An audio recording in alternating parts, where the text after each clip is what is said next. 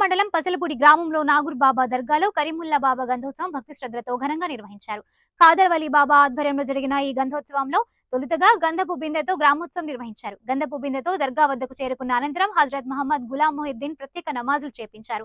ఈ గంధోత్సవానికి గ్రామం నుంచే కాకుండా ఇతర గ్రామాల నుంచి ఇతర జిల్లాల నుండి భక్తులు వచ్చి మొక్కులు చెల్లించుకుని ప్రత్యేక ప్రార్థనలు చేశారు. అనంతరం అన్న సంరాధన గావించారు. ఈ కార్యక్రమంలో కవాలీ గానాలు భక్తులను అలరించాయి.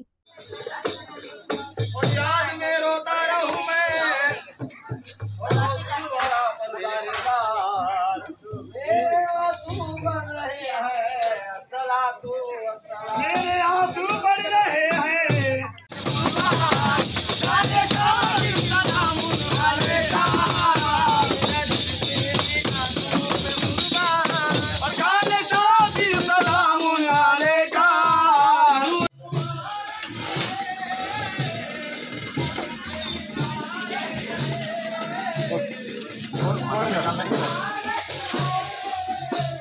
उतर डालो नीचे उतर डालो और मौके पुरानी पुरानी दीवानी अलगम तुम हो जाना और मौके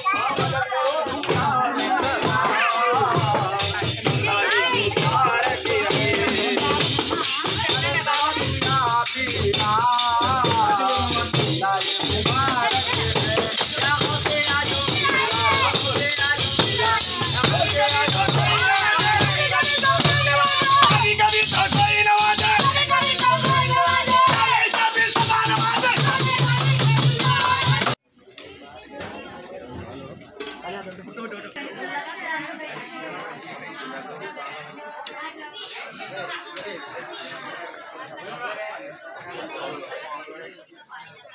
you.